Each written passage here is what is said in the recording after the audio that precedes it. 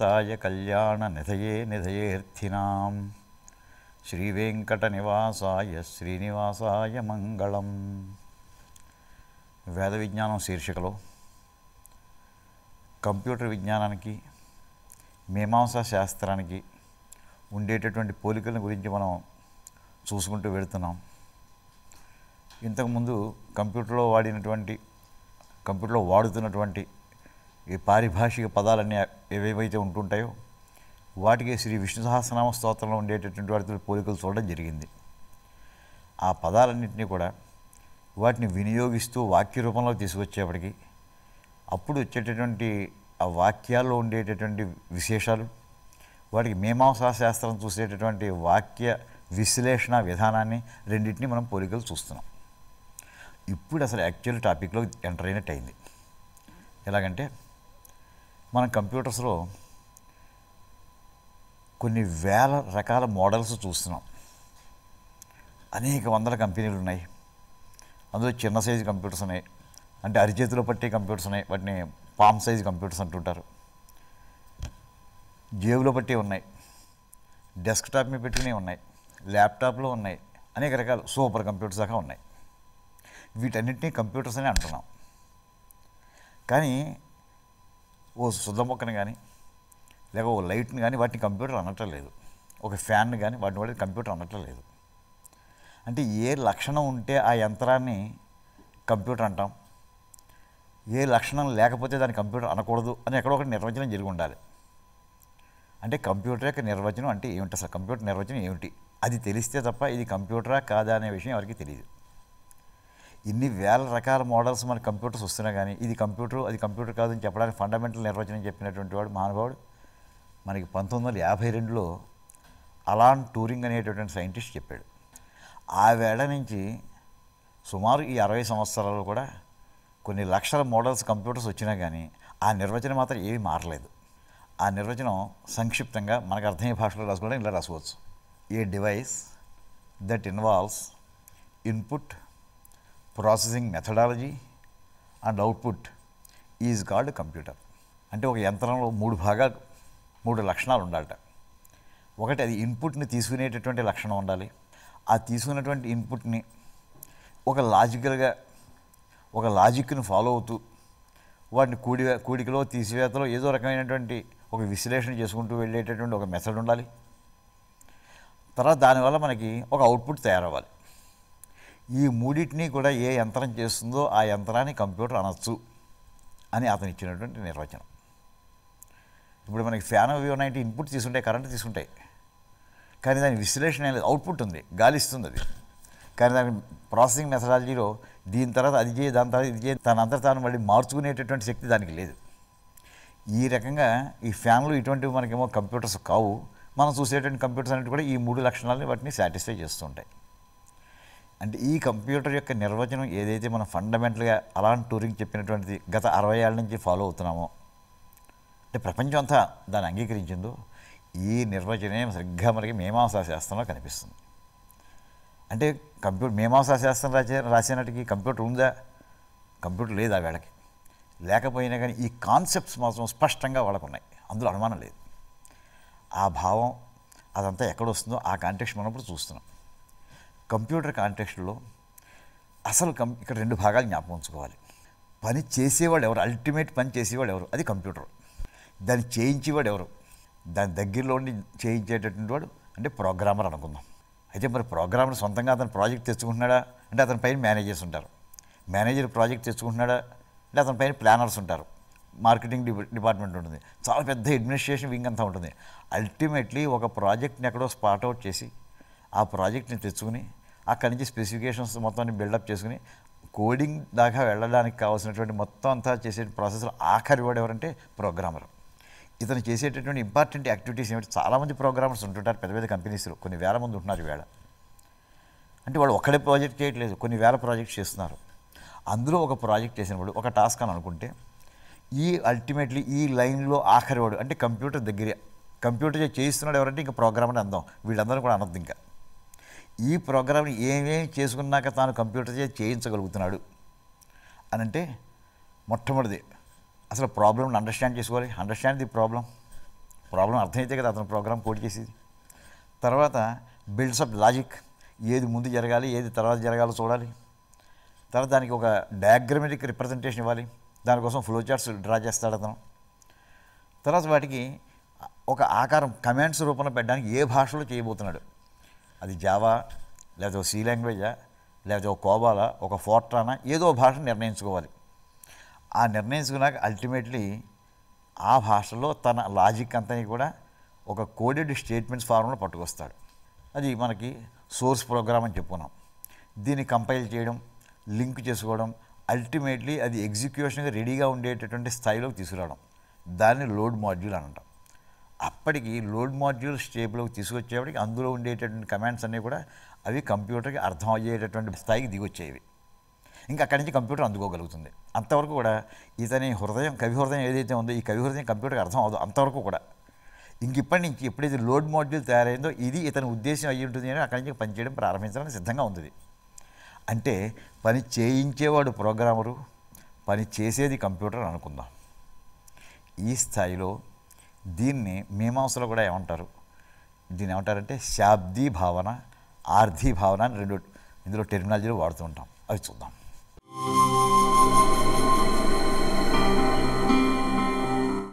మీమాంసలో వాడేటటువంటి important కీవర్డ్స్లో శాబ్ద భావన ఆర్ధ భావన అనేటువంటి రెండు పదాలు కనిపిస్తుంటాయి. ఈ శాబ్ద భావన అనే పదాన్ని శాబ్దీ భావన అని కూడా అంటుంటారు. అదేవిధంగా ఆర్థభావన అనే పదాన్ని ఆర్థీభావన అని కూడా అంటుంటారు. ఈ శాబ్ద భావన అనేది శబ్దము నుండి పుట్టినటువంటిది. లేదా శబ్దమునకు సంబంధించింది. ఆర్థభావన అంటే అర్థమునకు సంబంధించి అంటే విషయానికి సంబంధించింది. ఇక్కడ ముందర అసలు మనకి కంప్యూటర్ టెర్మినాలజీ ఇంకొంచెం ముందర చెప్పుకొని దాని తర్వాత మరి ఇందులో ఈ డెఫినేషన్స్లోకి వద్దాం. ఇందులో మనకి కంప్యూటర్ కాంటెక్స్ట్లోకి వచ్చేవాడికి అల్టిమేట్లీ ప్రోగ్రామర్ చేయించేటటువంటి వాడు అవుతున్నాడు.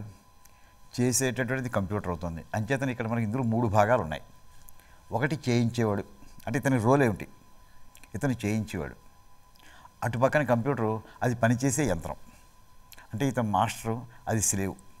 ఇతను చెబుతున్నాడు అది చేస్తోంది.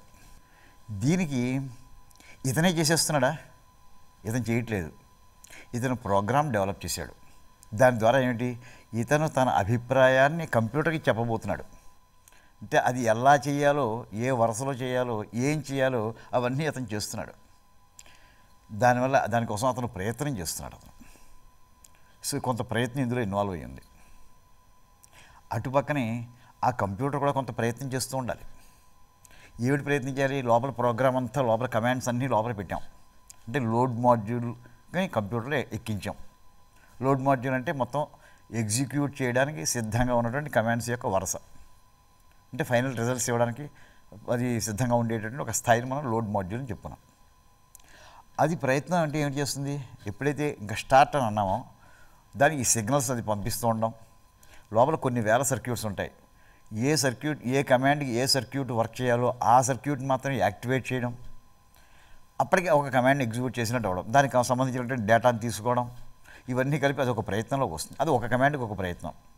ఆ కమాండ్కి అయిపోయిన తర్వాత మళ్ళీ రెండో కమాండ్ ప్రయత్నం మూడో కమాండ్. అలా మొత్తం ఆ ప్రోగ్రామ్కి సంబంధించి ఎన్ని వందల కమాండ్స్ అయితే ఉంటే అన్ని వందల కమాండ్స్కి మళ్ళీ ప్రయత్నాలు చేస్తూ ఉంటుంది.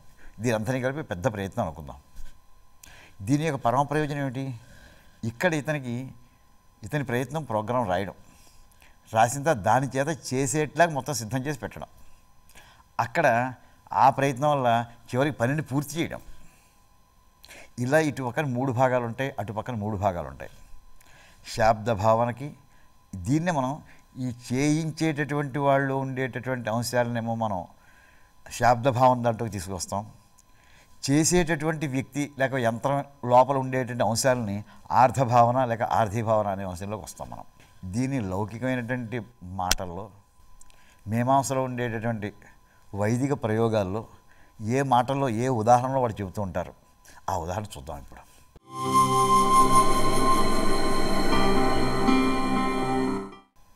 ఇప్పుడు ఈ శాబ్దీభావానికి సంబంధించి ఆర్థీభావానికి సంబంధించి మీమాంసా శాస్త్రంలో వాడు వాడేటటువంటి శాస్త్రీయమైనటువంటి ఉదాహరణ గామ్ ఆనయ ఒక ఆవుంతి తీసుకురా. ఇక్కడ ఎవరెవరికి చెప్తున్నారంటే ఇద్దరు వ్యక్తుల్ని భావిద్దాం. యజ్ఞదత్తుడు దేవదత్తుడు అనేటటువంటి ఇద్దరు వ్యక్తులు ఉన్నారు. యజ్ఞదత్తుడి యొక్క కుమారుడు దేవదత్తుడు అనుకుందాం. వాళ్ళు ఇంట్లో ఆవును మేపుతున్నారు. ఆ యజ్ఞదత్తుడు దేవదత్తుడితో చెప్తున్నాడు ఆవును తీసుకురా.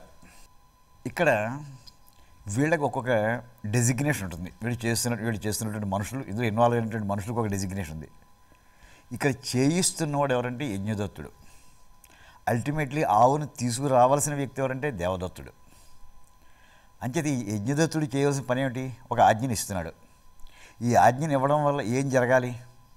అంటే ఆ దేవదత్తు ఎవరికైతే ఆజ్ఞని ఇచ్చాడో అతనిలో మోటివేషన్ కలగాలి. అతను ఎలా తీసుకురావాలో తెలియాలి.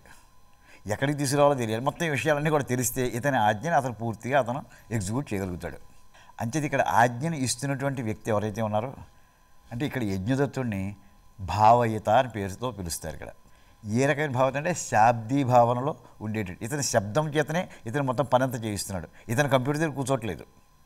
ఇతను ఆవు దగ్గరికి వెళ్ళట్లేదు. ఇతని వ్యక్తి దగ్గరే ఉన్నాడు. అంచేది ఇతను చేయించేటటువంటి ప్రయత్నంలో ఉన్నాడు కనుక ఇదంతా కూడా శాబ్దీ భావన సంబంధించినటువంటి వ్యక్తి విశేషాలు ఇవి. ఇతను చేసేటటువంటి ప్రయత్నం ఏదైతే ఉందో అంటే యజ్ఞదత్తుడు చేసి కొంత ప్రయత్నం చేస్తున్నాడు. అతను ప్రయత్నం చేస్తేనే అప్పుడు దేవదత్తుడు ఆలోచన కలిగింది పట్టరావాలని ఇతను చేసే ప్రయత్నాన్ని ఏమంటారంటే ఈ శాబ్దీ భావనలో హెడ్డింగ్ని భావన అని అంటారు మామూలుగా దీన్ని. అంటే శాబ్దీ భావనకు సంబంధించిన శాబ్దీ భావన అని కూడా చెప్పుకుంటాం దీన్ని. అయితే ఇతను చేసినటువంటి ప్రయత్నం వల్ల జరిగేటటువంటి ఫలితం ఏమిటి? అంటే దేవదత్తుడు ఆ పని చేసేట్లాగా అతను సంసిద్ధం చేయడం. ఇది ఇతను చేసేటటువంటిది. ఈ దీన్ని ఏమంటారంటే ఈ భాగాన్ని భావిత అంటారు. అంటే ఏదైతే అవుట్పుట్ కింద వచ్చిందో ఇతనికి. అంటే ఇతను చేసేటటువంటి ఎఫర్టు. చేస్తున్నటువంటి వ్యక్తి ఇక్కడ యజ్ఞదత్తుడు కన్సల్ట్ పర్సన్ ఇతను చేసేటటువంటి ఎఫర్ట్ అంతా కూడా ఇక్కడ శాబ్దీ భావన అంటాం. ఈ శాబ్దీ భావన యొక్క అల్టిమేట్లీ దాని మోటివేషన్ ఏదైతే ఉందో చేయించే చేయవలసినటువంటి వాళ్ళు మోటివేషన్ కలిగించడం. దాన్ని శాబ్దీ భావనకు సంబంధించినటువంటి భావిత అంటారు. మరి అయితే ఈ దేవదత్తుల్లో ఆలోచన కలిగింది. ఈయన చెప్పబట్టి ఆవుని తీసుకురావాలి అని. అతని దృష్టితోటి చూస్తే అతని ఏమని అతని డెసిగ్నేషన్ ఏమిటి? ఆ టాపిక్ యాక్చువల్లీ ఎవరైతే ఎగ్జిక్యూట్ చేస్తున్నారో పనిని అతన్ని సంబంధ అంటే అర్థమునకు సంబంధించినటువంటి విషయం. అర్థం అంటే విషయం. అర్థం పని పని అనమాట ఒక టాస్క్ అనమాట ఆ టాస్క్ సంబంధించినటువంటి అక్కడ మేనేజర్ ఎవరంటే అల్టిమేట్లీ అక్కడ దేవదత్తుడు అవుతాడు. అంటే మ్యాన్ ఆన్ ది ఫీల్డ్ అనమాట అతన్ని ఆ ఆర్థీభావంలో భావయితిగా తీసుకుంటారు. చేసేటటువంటి వ్యక్తి. తర్వాత అతను కొంత ప్రయత్నం చేయాలి. ఆవుని తీసుకురావడానికి. ఓ తాడు తెచ్చుకోవడం ఆ తాడును ఆవు కట్టడం అది కట్టి ఉంటే దాని పట్టు లాగడం లాగో ఎక్కడికి తీసుకెళ్ళాలి తీసుకెళ్ళి ప్రయత్నం చేయడం. ఇదంతా అతను చేసేటటువంటి ప్రయత్నాన్ని ఆర్థీభావన అంటారు. అంటే విషయానికి ఆ టాస్క్కి సంబంధించినటువంటి ప్రయత్నం ఎఫర్ట్ అది. ఆర్థీభావన అంటారు. దాని ఫలితం ఏంటి అల్టిమేట్లీ? ఎక్కడికైతే ఆవు ఆవులు తీసుకెళ్ళాలో అక్కడ తీసుకురావడం. అది ఫలితం. అంటే ఆవులు తీసుకురావడం. దాన్ని ఆర్థీభావనలో ఉండేటటువంటి భావిత అంటారు. ఇవి మామూలుగా మనకి మీమాంసా శాస్త్రంలో ఉండేటటువంటి మనకి పారిభాషిక పదాలు. అంటే ఇక్కడ ఆవును తీసుకురామంటే మనం కంప్యూటర్ కాంటెస్ట్లో ఏమంటాం? గెట్ ది రిపోర్ట్స్ అంటాం. Get the reports immediately I want to see the reports అని పైవాడి మేనేజర్ అంటే అతను అంటున్నది ఏంటంటే నాకు రిపోర్ట్స్ కావాలని అడుగుతున్నాడు.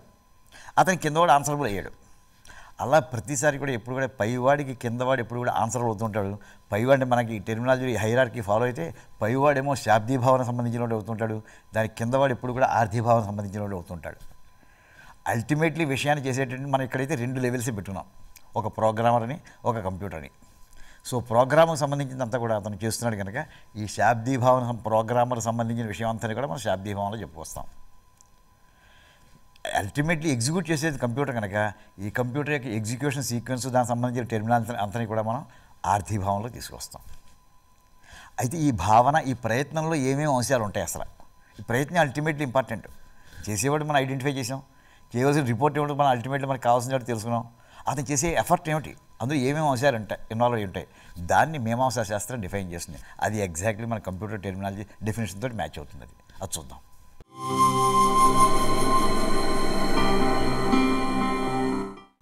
ఈ శాబ్దీ భావంలో ఏమేమి అంశాలు ఉంటాయనే దానికి చెప్పడానికి మనకి మీమాంసా న్యాయప్రకాశంలో వాక్యం ఇలా కనిపిస్తుంది.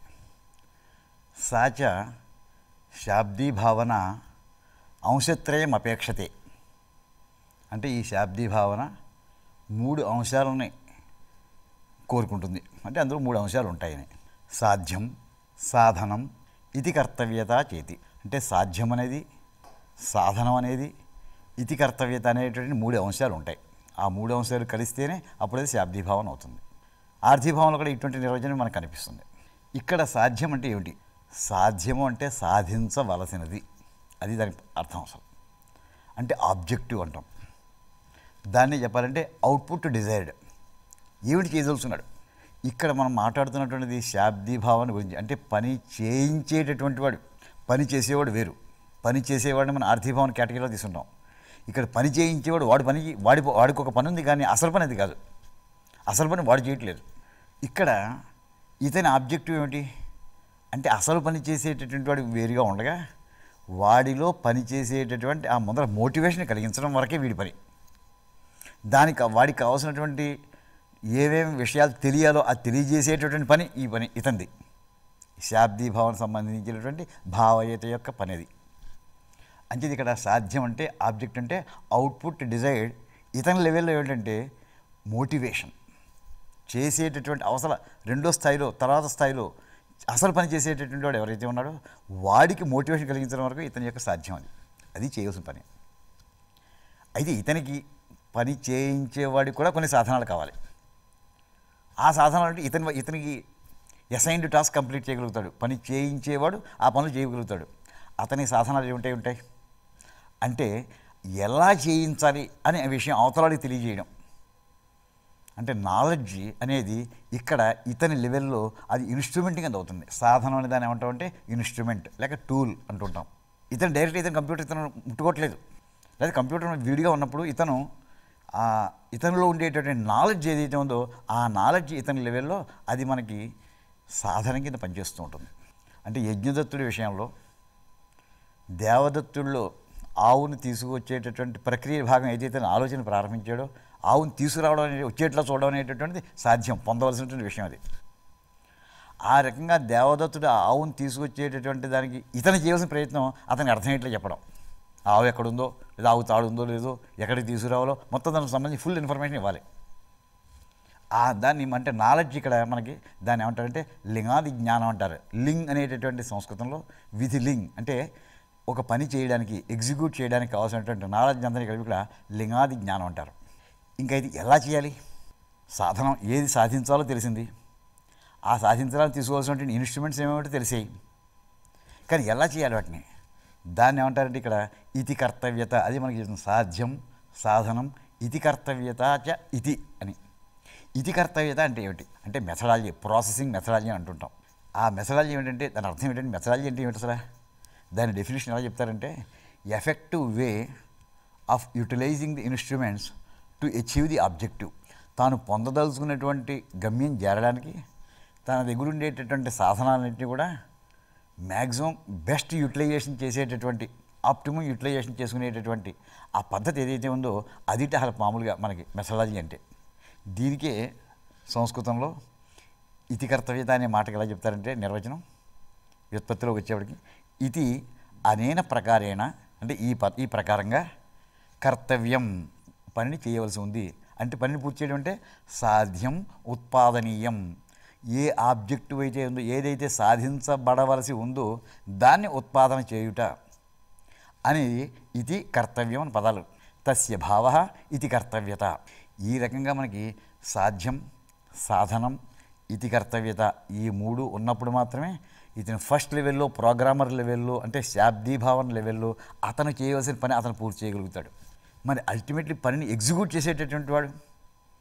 ఇక్కడ మనకి దేవదత్తుడు యాక్చువల్ ఆవును తీసుకొచ్చేటటువంటి వ్యక్తుడు. యజ్ఞదత్తుడు తీసుకురావట్లేదు. దేవదత్తుడు తీసుకొస్తున్నాడు. అతనికి సాధ్యం ఏమిటి? ఆవు నిజంగా తీసుకొచ్చి అక్కడ ఉంచబెడ్డాం అది సాధ్యం తీసుకురావాల్సింది. దానికి సాధన ఏమిటి? అంటే దానికి తాడు దానికి ఏమేమి కావాలో దానికి ఓ తోలుకర్ర ఓ తాడు ఓ పలుగుతాడు ఇలాంటి మొత్తాన్ని కూడా అతని సాధనాలు. తర్వాత ప్రయత్నం ఇతికర్తవ్యత ఎలా తీసుకురావాలి? ఆ తాడు దానికి కట్టడం కర్రతో బెదిరించడం గమ్యాన్ని దగ్గర తీసుకురావడం. ఈ ప్రాసెస్ అంతా ఏదైతే ఉందో అది ఆర్థీభావనలో ఉండేటటువంటి ఇది కర్తవ్యత అవుతుంది. ఈ రకంగా మనకి ఈ సాధ్యం సాధనం ఇతి కర్తవ్యత అనేటటువంటి మూడు ఇంపార్టెంట్ కీవర్డ్స్ మనకి ఈ భావన అంటే సాధ్యభావన కావచ్చు ఆర్థీభావన కావచ్చు. భావన అంటే జ్ఞాపకం పెట్టుకుందాం. అది ఇమాజినేషన్ కాదు. భావన అంటే ఇక్కడ ప్రయత్నం ఎఫర్ట్ అని అర్థం డెఫినేషన్ ఇచ్చారు. ఇక్కడ మనం కంప్యూటర్ మీద ఒక రిపోర్ట్ కావాలి అని అనుకున్నప్పుడు కంప్యూటర్ని ఎలా అక్కడ మనకి ఇన్స్ట్రుమెంట్గా వాడుకుంటున్నాం. ఇతని లెవెల్లో. అతని లెవెల్లో లోపల సర్క్యూట్స్ వాటిలో యాక్టివేట్ చేసుకున్నాడు మొత్తం ఏదైతేనేమి ఇతని శాబ్దీభావం లెవెల్లోనూ సాధ్యం సాధనం ఇతికర్తయిత మూడు నిర్ణయించబడి ఉంటాయి పని యాక్చువల్గా చేసేటటువంటి స్థాయిలో కూడా మళ్ళీ సాధ్యం సాధనం ఇతికర్తయిత నిలబడి ఉంటాయి నిర్వచించబడి ఉంటాయి ఇది యాక్చువల్లీ మనకు ఒక ప్రాసెస్ టాస్క్ మేనేజ్మెంట్లోకి వచ్చేటటువంటిది. కంప్యూటరైజేషన్ అనేటటువంటి ఆ కంప్యూటర్ అనేటువంటి డెఫినేషన్ ఏదైతే మనకి అలాంటి టూరింగ్ ఇచ్చాడో ఒక ఇన్పుట్ ఉండాలి. ఒక ప్రాసెసింగ్ మెథడాలజీ ఉండాలి. ఒక అవుట్పుట్ వచ్చేట్లా ఉండాలి. ఎగ్జాక్ట్లీ ఇక్కడ మనకి సాధ్యం అంటే పొందవలసినటువంటిది అది అవుట్పుట్ని ఈక్వలెంట్గా చూపిస్తూ ఉంటుంది. అది సాధ్యం అనే పదం. సాధనం అంటే ఏవేమి ఉంటే ఆ సాధ్యాన్ని పొందగలుగుతాడు. పొందవలసింది పొందగలుగుతాడు. అంటే ఇక్కడ మనకి ఇన్పుట్స్ అనమాట సాధనం అనేటువంటి ఒకటి కాదు మొత్తం గ్రూప్ అంతా కూడా. ఆల్ టైప్స్ ఆఫ్ ఇన్పుట్స్ అన్నీ కలిపి ఒక్క పదంలో చెప్పేయచ్చు. సాధనం. ఇన్స్ట్రుమెంట్స్ అంటే నాలెడ్జ్ కావచ్చు లేక ఇంకా సంబంధించిన డేటా కావచ్చు ఏదైనా కావచ్చు. అవన్నీ కలిపి మనకి ఇన్పుట్ అనేటటువంటి వర్డ్ ఈక్వలెంట్ ఇక్కడ మన సాధనం కనిపిస్తుంది. అవుట్పుట్ అనేటటువంటి పదానికి ఈక్వలెంట్ మనకి ఇక్కడ సాధ్యం కనిపిస్తుంటుంది. అక్కడ మనకి ప్రాసెసింగ్ మెథడాలజీ అని మన పదం డెఫినేషన్లో చూసాం అలాంటి టూరింగ్ డెఫినేషన్లో ఇక్కడ ఎగ్జాక్ట్లీ ఐడెంటికల్ వర్డ్స్లో సంస్కృతంలో చెప్పినటువంటిది ఇది కర్తవ్యత. ఈ రకంగా ఈవేళ మనకి అరవై సంవత్సరాల క్రితం సుమారు అలాంటి టూరింగ్ ఇచ్చినటువంటి డెఫినేషన్ కంప్యూటర్ డెఫినేషన్ యాక్చువల్లీ అది మేమాంసలో కొన్ని వేల సంవత్సరాల క్రితమే మనకి ఇవ్వడం జరిగింది. అయితే ఆ భా ఆ భాషతో మనం దూరంగా ఉన్నాం. ఆ కాన్సెప్ట్స్తో దూరంగా ఉన్నాం. అంతే ఇటువంటి వాడికి మనం ఎక్కడ పోలికలు లేవు. ఇవాళ కంప్యూటర్ కాన్సెప్ట్స్ అని కూడా కొత్తగా ఏదో ఎవాల్వ్ చేస్తున్నారు అనుకుంటాం కొత్తగా ఎవాల్వ్ చేస్తున్నారు కరెక్టే పాత చూడకుండా. కానీ మన దగ్గర ఉన్నటువంటి విశేషమైనటువంటి జ్ఞాన సముద్రంలోంచి ఇటువంటి పాత గ్రంథాల్లోంచి ప్రాచీన గ్రంథాలన్నింటిలోంచి కూడా ఈ భావాలను తీసుకుంటే ఇంకా ఈవేళ కంప్యూటర్స్లో రానటువంటి విషయాల్ని ఇంకా కొన్ని మనం ముందర మనమే సజెస్ట్ చేయడానికి వీలవుతుంటుంది. ఈ రకంగా మనకి ఈ శాబ్దీ భావన ఆర్థీ భావన అనేటటువంటి కాన్సెప్ట్స్ కంప్యూటర్ డెవలప్మెంట్కి చాలా దగ్గర పోలికలతో వస్తుంటాయి. మిగతా విషయాలు తర్వాత చూద్దాం.